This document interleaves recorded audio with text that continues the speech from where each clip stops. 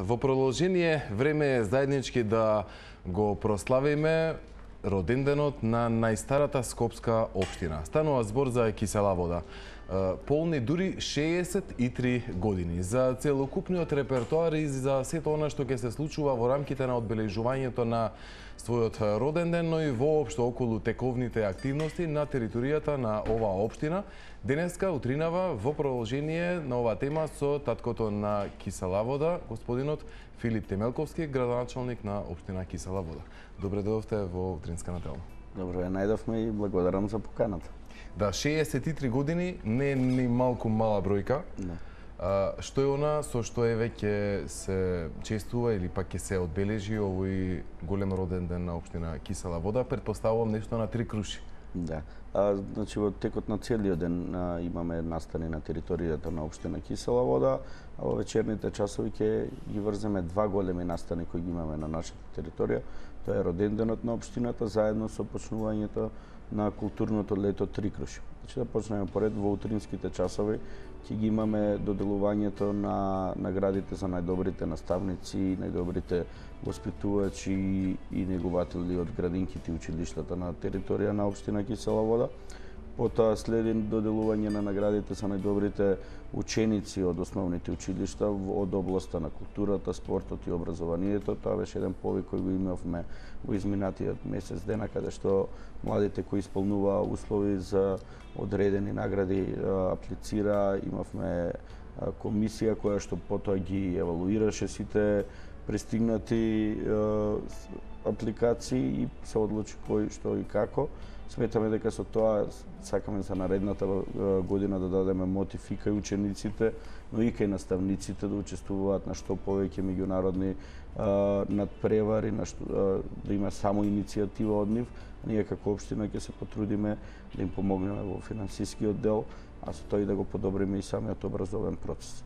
Понатаму општината следи нормално свечена седница на на Советот на Обштината Кисела вода, тоа е се во утринските часови како што кажавме во вечерните часови на културно-рекреативниот локалитет Три Круши, почнува културното лето, нормално и обележување со еден забавен дел на роденденот. Вечерта ќе настапуваат дувачкиот оркестар при Меладинскиот културен центар и заедно со едни од најрепрезентативните а, културни дејци, тоа е културно-уметничкото друштво Китка, кое што е од територијата на општина Кисела вода Тие две друштва ќе настапуваат во вечерните часови, со тоа ќе го обележиме и роден денот и почетокот на културното лето.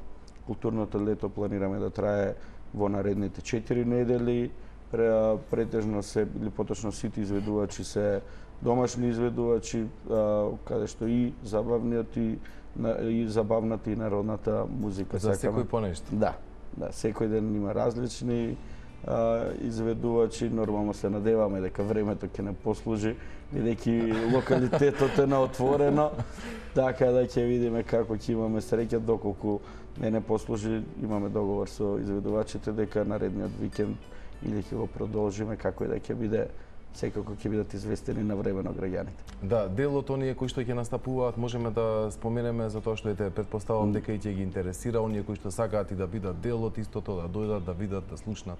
Значи во забавниот дел тука ни се Александар Митевски, а, Дени Бени Нонстоп, Силви Бенд ќе настапуваат mm -hmm. во а, во народниот дел Сузана Спасовска, Суица Лазова и Наум Петревски и ред други Миле Кузмановски знам дека ќе учествува. Тоа се да, веќе кои се договорени. Па супер, така, еминенти. Да, да, секој ден ќе има различен настап. Секој викенд гледаме да има барем еден од забавниот дел и еден од народниот дел од изведувачите, за да може секој граѓанин да си го најде својот интерес таму. Да. Еве, например, можеме ли да направиме една ретроспектива, иако сте релативно краток период на чело на општината, 63 години, како ја гледате општината во ете последниве неколку години кон што се стреми најстара скопска општина меѓутоа треба доста работа таму. Да. Да бидеме Како најстара скопска општина имаме нормално како и сите општини и позитивни и негативни работи. А, сметаме дека многу повеќе треба да работиме на нашата инфраструктура. Ние сме најстара општина и со најстара инфраструктура, особено подземната инфраструктура. А, тоа чисто пати го говориме, не може една од скопските најстарата скопска општина, а може да кажеме и најцентралната скопска општина е на преку 30% од нашето а, од нашата територија немаме атмосферски и фекални канализации. Mm -hmm. Така да многу повеќе мора да работиме на тој дел за а, да го подобриме и секојдневниот живот на на нашите сограѓани.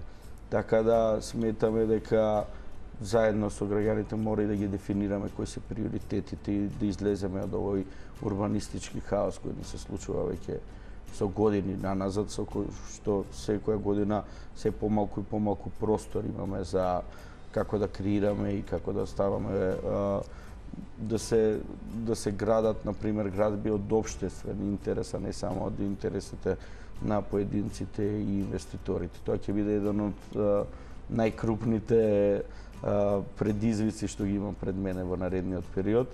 А позитивно што сметам за нашата општина е што многу се шири, ние сме една од ретките општини па и на територија на Република Македонија која што има пораст на населението. Mm -hmm. Така да и тоа тоа ни прави едни сладки мајки да ние треба да се справиме со а, нови капацитети за сместување за децата, нови градинки кои ги имаме во планот.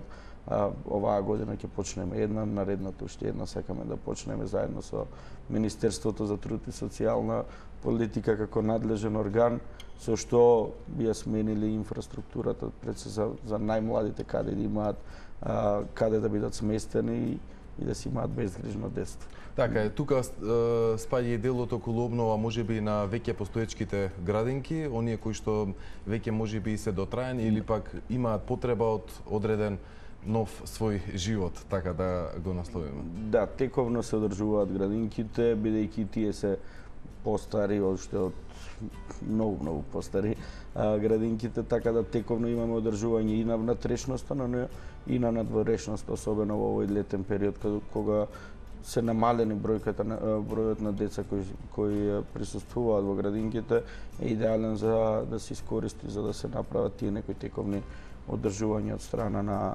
на општината како надлежна за состојбите во градинките. Така да тоа ќе го одржуваме. Гледаме каде има потреба да се стават дополнителни а, активности и елементи за да се збогати понудата на самите градинки. Да, споменавте изградба можеби на одредени објекти или пак нешто што е од општествен интерес или да. пак општо за жителите на на кисела вода.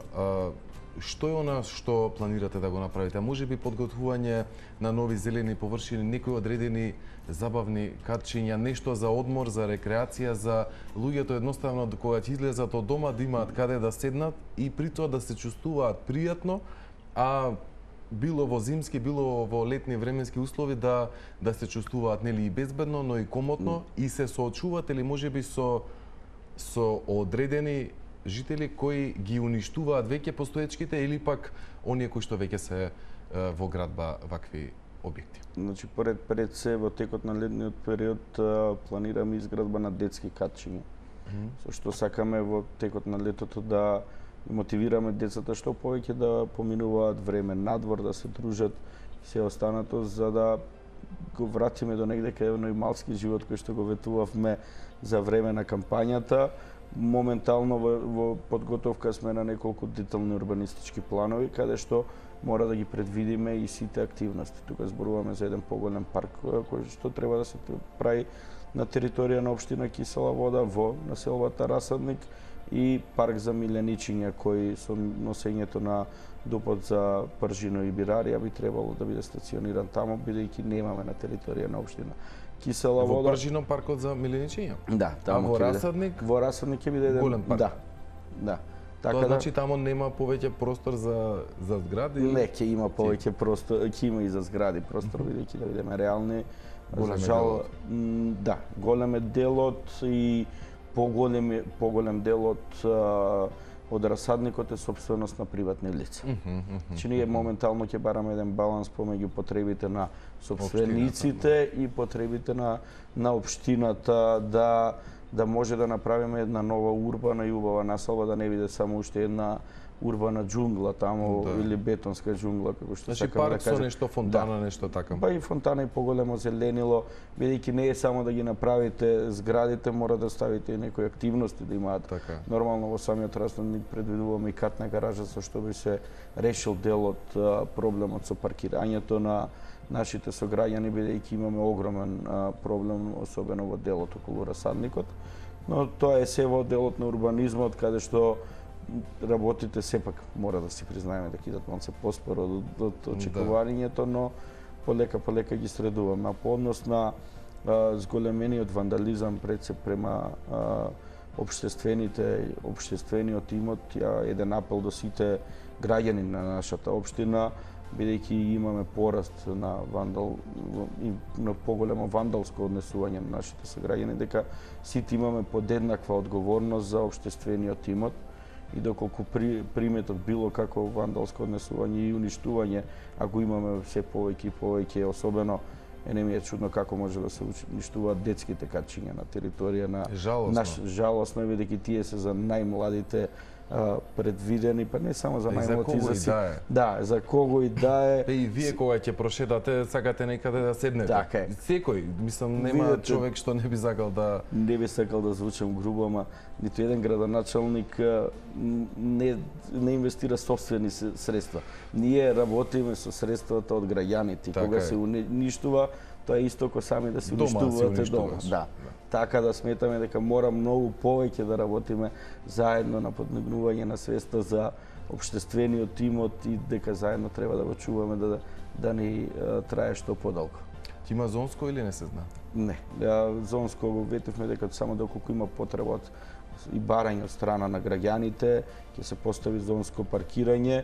А, имаше во минатото неколку шпекулација по однос на зонското, сепак тоа е редовна пракса на на предпријатието град, на градски паркинг, каде што предвидува каде се може да се постави зонско паркирање во координација сме со градот Скопје, доколку некогаш и жителите има некаде сами барање за, за зонско, каде што за граѓаните би било на општината бесплатно, за Да. останатите ќе се наплаќа доколку имаме, ние мора да ги пред, предпријатието мора да ги предвиди дека може да се инвестира таму и да се постави зонско. Сепак се уште сме далеко од таа фаза, особено во кисела вода, бидејќи тука треба и а, сообраќајни проекти да се направи, да се види колку што и како може да се направи. А нормално пред летото имавме неколку состаноци по местните урбаните заедници, кога ќе после летото истото го планираме, каде што во дел од урбаните ќе го дискутираме и зонското паркирање доколку има потреба, нормално како што кажавме септември, октомври треба да се спрема и буџетот за наредната година, каде што би требало заедно со граѓаните да ги дефинираме и потребите кои се за 2019 да година. Се размислува ли можеби за велосипедски патеки или тоа е во надлежност на град Скопје? Не, тоа е тоа е заедничка надлежност и на општината и на градот Скопје, бидејќи главните улици се во надлежност на градот, а споредните се во надлежност на општината. Се размислува и за тоа, бараме начин со обраќајните ин- инженери да видиме каде може да се изведе целото, а сепак не е не е некоја не е некоја за активност која што може веднаш да направи. Мгм. Мора добро да се осмисли и сообраќајните решенија да бидат пред се функционални и во корист и на велосипедистите и на сите така учесници ќе во сообраќај. безбедноста Да. верувајте и на велосипедистите, а и на Така пешаци и на оние кои што возат автомобили, секој ќе си има своја патека. Тачно. Истото го размислувавме и ние, сепак мора добро да се припреми, бидејќи припремата е најбитна работа за да направиме нешто што е функционално. Ние, за жал, во минатото во кисела вода многу работи се правеле предизборно, со што ние си имаме големи проблеми. Сега збориме од правен аспект за да може да ги дали треба имаме објекти кои треба да се легализираат, а се во собственост на општината, го имаме домот на културата во Кисела вода кој што знаете дека е изграден од пред две години, а се уште не е почна не е ставен во употреба баш ради тие правни работи, ради правење на објекти само Да, колку чудна да се работа се направи и Да. никако нешто да се Е, случува. па, м, не се случува баш од тој правен аспект, бидејќи не се решени некои односи помеѓу општината и изведувачите. и сега сме звртени во еден лабиринт кој што сакаме да го решиме што побрзо, бидејќи тоа е објект од значење за општината, од капитално значење за сите гра, граѓани со кои што сакаме да се зголеми и нивото на културата пред и, и културните настани на територија на општина Киселовода преку тој објект, така да работиме заедно и со изведувачите и со Министерството за култура кој е еден од најголемите финансиери да се да се одмата целото клопче mm -hmm. за да може да почне да биде функционален. Така да да не ни се случат такви работи на територија на општина Киселовода може би некогаш е подобро да се почека малце да се припремиме повеќе за за да имаме објекти кои ќе бидат функционални на места кај што ќе ја вршат работата. Домот за зависници? А, јас потенцирав дека ние го направивме првиот чекор како општина, За жал во минатото никој не не направил таква средба каде што би се собраа сите а, релевантни фактори кои може да најдат начин. Па да бидам искрен, да. вие сте и првиот градоначалник кој малку еве подетално или поактивно започна да се занимава со со домот, а жителите, граѓаните на Кисела вода тоа го бараат со години. Вака, тоа е една горка тема на нашата општина. А, сепак ние мора да имаме одговорност према сите граѓани, без разлика дали се жителите, дали се нашите сограѓани кои од X причини го користат домот за да. зависници, а, но мора да се најде некое решение. А, за тоа ги повикавме Министерството за здравство, Министерството за, за внатрешни болни, а, за внатрешни работи, болницата Бардовци која што е надлежна за за домот, граѓанските Здруженија Хопси и Доверба кои се кои работат на таа проблематика да. и дел од жителите кои прифатија да дојдат кои живеат во тој реон. Mm -hmm. Пред се сакавме да ги презентира да презентираме пред министерството реалната ситуација како ние како општина и жителите гледаме на на тој дом таму и кои се секојдневните проблеми кои ги имаат жителите што живеат таму бидејќи еден дел е делот на здравството, но друг дел е делот на на жив, секојдневниот живот во општината. Дадовме некои краткорочни мерки ние како општина кои сметаме дека треба да се земат. Ние немаме голема надлежност освен а, освен да делот околу двор, околу домот да го редовно да го чистиме и да го одржуваме. Побаравме од Министерството за внатрешни работи почести контроли да има таму и присуство на униформирани лице. Тие ни беа некои краткорочни цели, а долгорочно сметаме дека Министерството треба да најде начин дали за дислокација, дали за отварање на нови регионални центри со што би се намалил бројот и нормално сите констатиравме дека за жал бројот на вработени во самиот во самата болница за зависности е намален во изминативе години и тоа дополнително прави проблем за нормално функционирање на самата болница. Така да Министерството ќе си има полна работа, сметам да. дека ќе се најде заеднички решение. Бит многу ни беше важно да почнеме од негдека да се да се стават да сите да се движат работите, да, тоа е најважно. Сите работи да ги ставиме што ги да. мислиме на маса и да се најде една еден модус кој ќе почне да функционира. Кој ќе почне да да се да, движат работите, ќе се најде да, решение. Да, така е. А, добро, некако на крај само да уште еднаш да подсетиме и да ги поканиме да. жителите, а и сите оние кои што сакаат од Скопјеве и од било кој дел од државата да бидат дел од одбележувањето на 63 годишнината од општина Кисела вода. Локалитетот или местоста е Трикруши. Трикруши, да, во село Драчево. Значи почнуваме од петок 29 ти Секој петок и сабота во наредните 4 викенди ќе имаме настани слободно кој сака а, малце да, да излезе од урбаната джунгла и надвор од центарот.